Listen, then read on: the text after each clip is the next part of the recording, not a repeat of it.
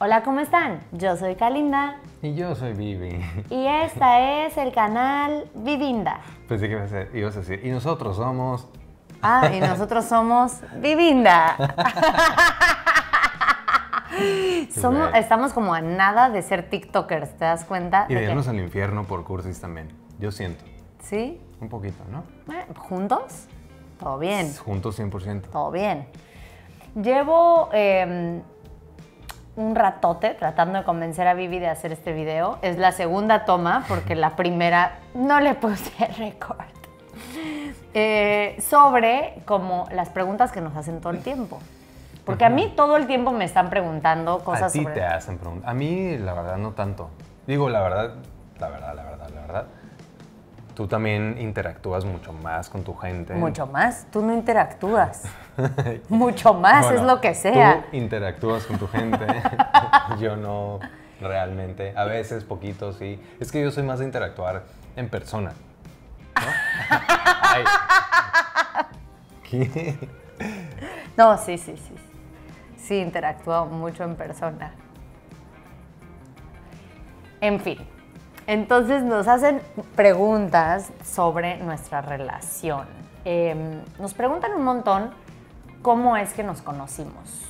Yo tengo la teoría de que, porque, no sé, ¿por qué nos preguntarán eso? Como, Pues es como nosotros que cada vez nos preguntan, ¿y por qué se llaman Rake? Después de 16 años de existir, siempre va a existir esa pregunta, ¿no? Pues, y yo creo que también porque tal vez tenemos como un secreto súper bien guardado y entonces la gente puede decir, ah, claro, si ellos se conocieron así, nosotros deberíamos hacer lo mismo. Yo también debería ir a la biblioteca estudiar y conocer el amor de mi vida, ¿no? Entonces, eh, la respuesta es que yo era conductora de televisión y entonces si tú eres conductora de televisión y vas a entrevistar a una banda de chavos de Mexicali, en una de esas puedes terminar casada con una, con un, no, Con una estrella, con una estrella del pop. con una persona. Sí, así es. Sí, así fue. Nos conocimos en una entrevista que nos hizo. Em, yo ya sabía quién era ella, por supuesto, yo la veía en televisión desde hacía un tiempecito atrás. Y me le y, gustaba. Y yo quería todo con ella. Y Pero luego- tenías novia, di la verdad. Sí, en Mexicali. Pero Claro. luego cuando nos vimos yo no tenía novia. Ah, bueno. Y, pero ella sí.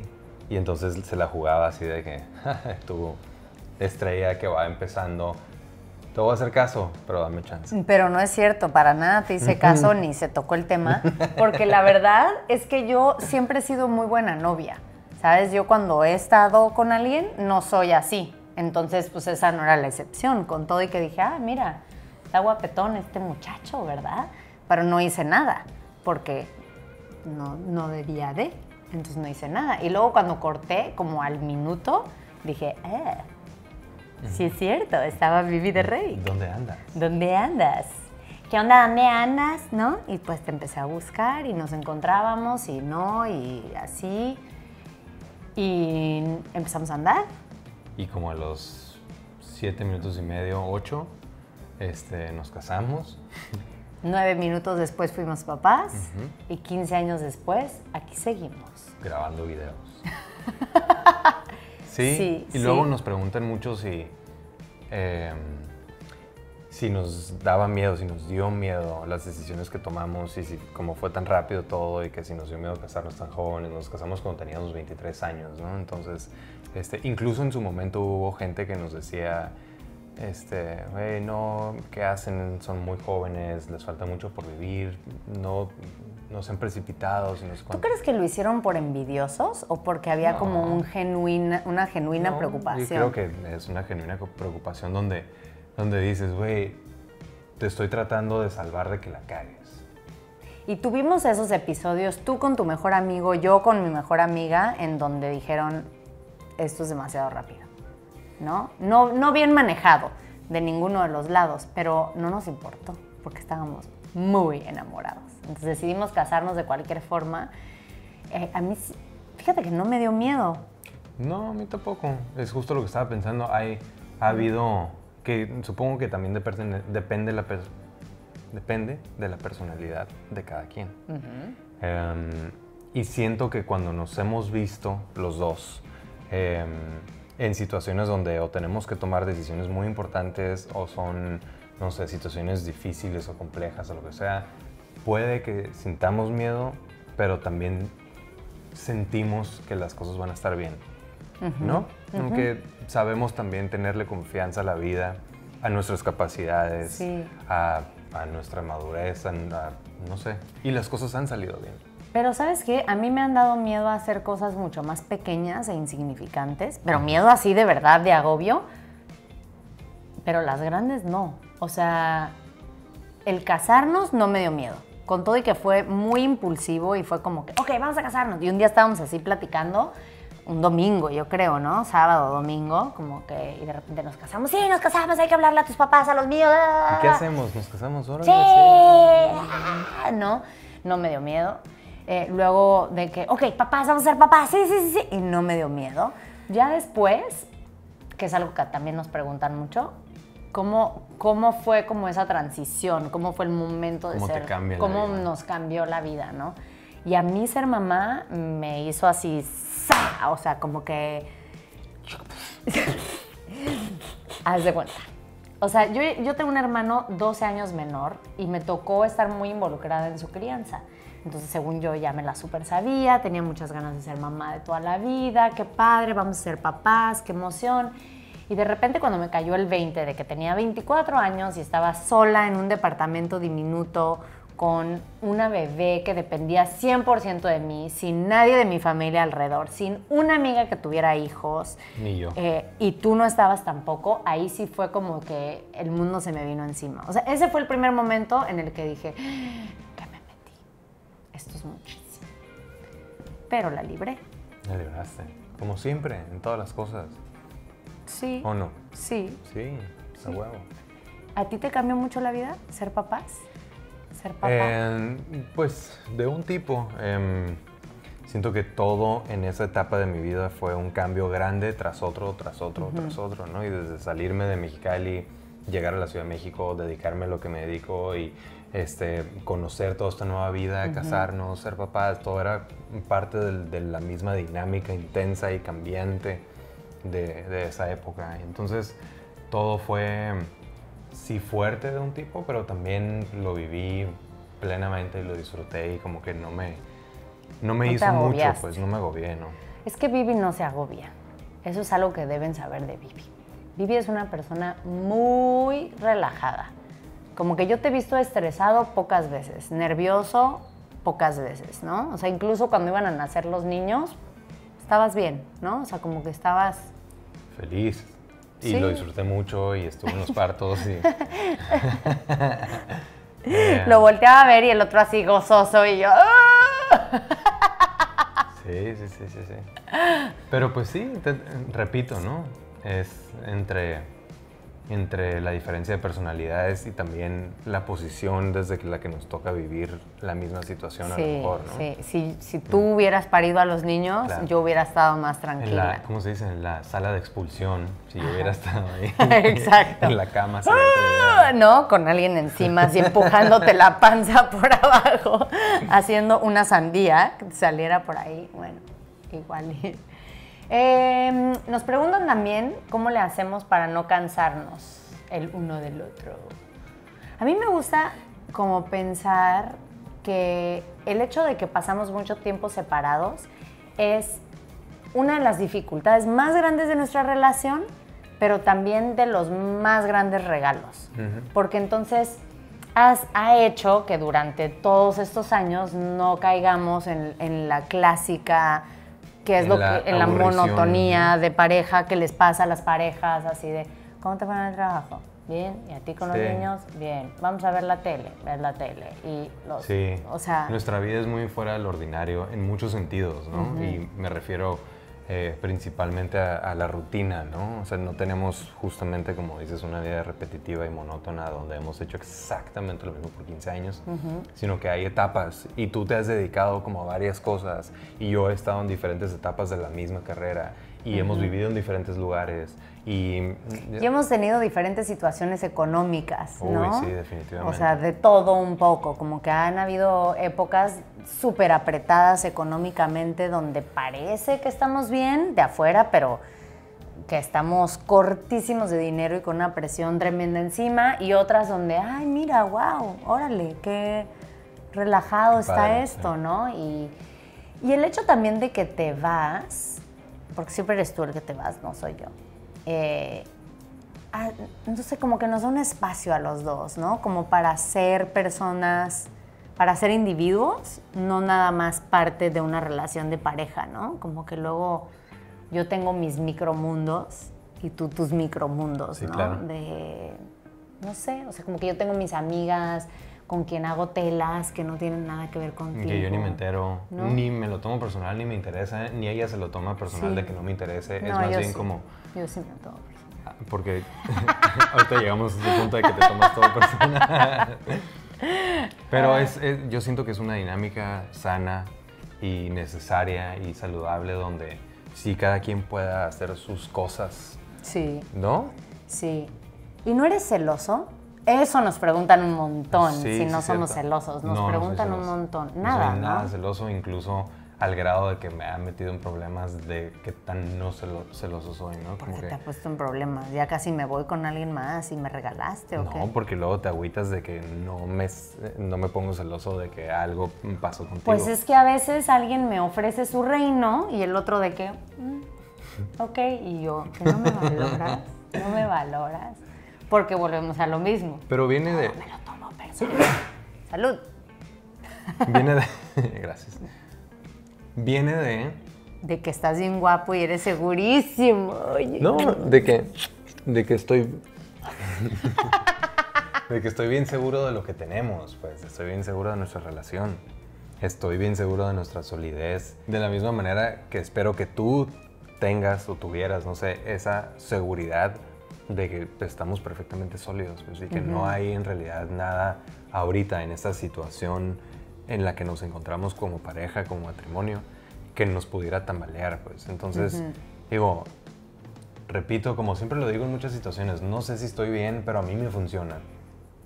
Pero a ver, a mí me han puesto en situaciones muy distintas que a ti.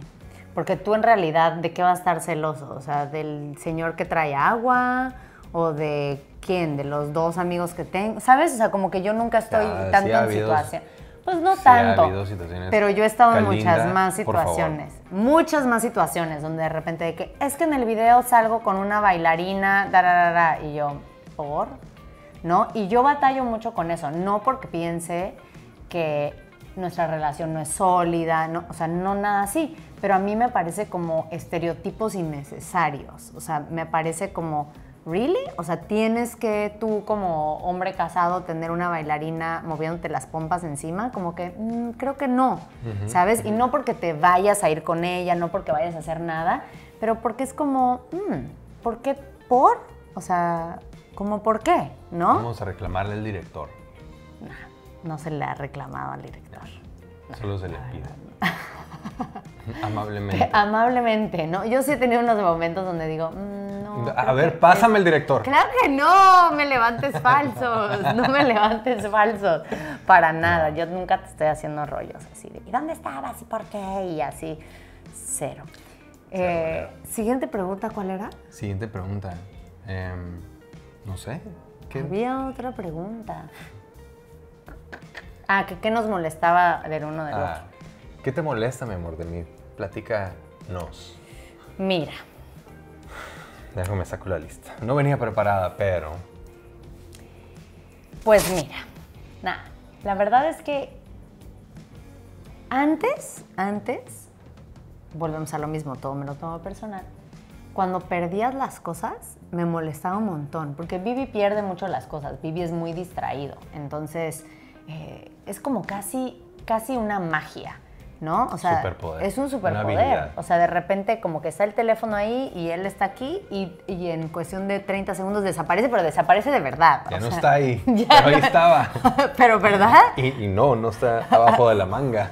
Pero no, o sea, es bastante impresionante. Entonces, cuando me he dado cuenta que cuando se va cansando, o sea, cuando está como desvelado y así, que todo se agrava cuando estamos desvelados, las cosas empiezan a desaparecer, las carteras se pierden, los teléfonos, los lentes desaparecen o se van perdiendo. Y entonces muchas veces eso como que me afectaba de alguna manera, porque entonces era, perdió la cartera, entonces yo tengo que poner la tarjeta, o perdió los lentes que yo había comprado, ¿no? O sea, como que había ahí como un que me molestaba un montón y me tomó mucho tiempo darme cuenta que no era algo hacia mí. O sea, que, era, que es algo que a ti te pasa y, y, yo también separarme de eso, o sea, no involucrarme, como decir, bueno, a ti se te perdió, tú resuélvelo. O sea, esto no tiene por qué volverse un tema mío, ¿no? O sea, con respeto, con buena onda, pero como que no, de un tipo no es mi problema. Claro. Te apoyo en lo que te apoyo Claro. y ya, ¿no? Pero ahora ya no me molesta eso, ahora me da mucho agüite cuando te pasa porque sé que tanto te molesta a ti, sobre ti, ¿no? Claro. Este, Como que, o sea, el sentimiento general es, no tiene, o sea, gracias porque te molesta, pero no gracias a mí ya me molesta suficiente. Ya Exacto, sabes, sí, sí, sí, ya con mi propia culpa tengo, no necesito la tuya también. ¿no? 100%. ¿Qué pasa? Yo creo lo mismo con mi ansiedad, ¿no? Y con las molestias que rodean a veces mi ansiedad. Como que estoy tan incómoda yo que no hace falta que tú me digas si estás incómodo. O sea, es Claro, como claro. ya, ya se estableció el nivel de incomodidad. Todo bien. Sí, y a mí ¿No? en realidad, este, no sé si hay algo que me molesta, o sea, o sea, no a un nivel profundo. Hay, claro que hay muchas cositas que te podría decir. No, mi amor, no, ¿No hay? no hay. Como por ejemplo que no me dejas hablar cuando estoy bien inspirado. Perdón. Estoy en un... Perdón, perdón, perdón. No, no, no. No hay nada que sienta yo que valga la pena reclamarte. ¿Sabes? Hay cositas que me molestan, sí, pero hay cositas, esas mismas cositas que me molestan, para cuando terminó el día ya se me olvidó. ¿Cómo y ya ni me acuerdo qué era. Como que dejas el ventilador prendido siempre de afuera, sí, siempre. Y se sale como unas 3, 4 veces al día a revisar, eh, a revisar el teléfono, a hacer llamadas, que la junta por Zoom, que no sé cuánto, y siempre regresa y el ventilador prendido, ¿no? Es que estoy. Ya ni le digo, de verdad. Es que estoy verdad no le alejando digo. a los moscos. No, ya sé por qué, yo también he salido. Este, pero nada que sienta que va A perjudicar, ¿no? a perjudicarme a mí ni a dejarme una semillita ahí de rencor o de amargura que eventualmente voy a tener que sacar y que si no me desahogo se va a convertir y nos va a separar. La verdad, Mi no. amor, qué telenovelesco fuiste. ¿Verdad? Te lo llevaste Wow. lejísimos. Bien. Ahorita llámame Gilberto, por favor. Perdón, Jibe. Eh, ¿Cómo hemos durado tantos años? ¿Los años se te han hecho lentos o rápidos? Los años se me han hecho justos. Entonces, la gente nos pide consejos de amor todo el tiempo. La gente en redes sociales, como si supiéramos algo. ¿Tú sientes que estamos listos para saber algo? Cero. Yo siento que. No, es la verdad. Yo, yo muchas, o sea, si alguien nos preguntara, ¿qué ha pasado también? Gente cercana a nosotros, amigos, lo que sea, ¿no? Si nos preguntan situaciones específicas por las que también hemos pasado, pues claro que le puedes dar Tu, tu, opinión, anécdota, tu, opinión, tu claro. resolución, cómo lo hiciste, qué, qué sentiste y todo, pues, pero de eso a denos consejos de ta, ta, ta, ta, ta. Es que toda la gente es tan distinta y lo- el mundo que cargamos dentro es tan interno y tan personal que algo que a ti y a mí nos funciona no, no es aplicable para otras parejas. ¿no? 100%. Y yo, y yo digo eso mucho todo el tiempo en cualquier tipo de temas, pues, pero también como que me da cierta... eh, siento cierta responsabilidad que no quiero sentir del ejemplo de pareja que ponemos, ya sabes, ¿no? Ujú, o sea, ujú. estoy muy, muy orgulloso de nosotros y de lo que hemos logrado, pues, pero no sé si... Así, senseis del amor. Ajá, no, cero para nada. Y no sé si, si quiero ser tomado, ya sabes, como, díganos cómo le hacen. y así que todo lo que les acabamos de decir en este video no es cierto. Solo fines eh, de Ilustrativo, entretenimiento, exacto. fines ilustrativos. Hay un disclaimer al principio de ese video. Nada más estamos payaseando, ¿no? A mí luego me estresa y como que digo, ¿qué tal si un día tronamos? Porque la gente siempre está de que, ah, goals y son lo máximo juntos. Y digo, güey, si un día tronamos, ¿qué va a pasar? Exacto. No hay que decirles. Hay que, hay que tomarnos en estos próximos meses muchas fotos para tener contenidos por años. Y aunque nos lleguemos fatal de que una vez al año un videito juntos. Y por lo menos Día del Padre subes una foto de mí, Día de la. Madre subo fotos de ti, muchas que ya Obvio. voy a haber tenido desde esta era. Yo así en- Te haces diferentes looks o te pongo, te cambio de looks con una aplicación del teléfono. ¿Qué más? ¿Qué más, mi amor? ¿Qué Yo más? pienso que ya, eso es todo. ¿Ya? Y que si quieren saber otras cosas, pues dejen ahí sus mensajes. Y como esto va para largo, pues, tenemos tiempo de hacer otro video, Y ¿verdad? Hacemos otro y otro. Y otro, y ya hacemos un canal oficial, un podcast. Vamos a hacer un podcast. Hacemos un podcast. Hacemos un podcast. Pues sí, podemos hacer, no o sea, sé, el ¿se les antoja? ¿Lo el verían? equipo lo tenemos, los micros y todo. Pero las ganas las tenemos. El contenido lo Sí, tenemos. Sí, a que voten. Va. Podcast, podcast. Y si votan que no, guarden silencio. No, no, porque luego esto se interpreta y me lo tomo personal.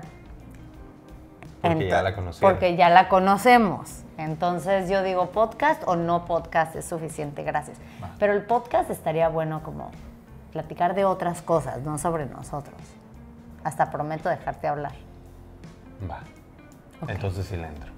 Está bien. Entonces, este, ustedes ya se van, nosotros pues ya estamos en la cama, entonces pues, ¿qué onda? Adiós. Bye.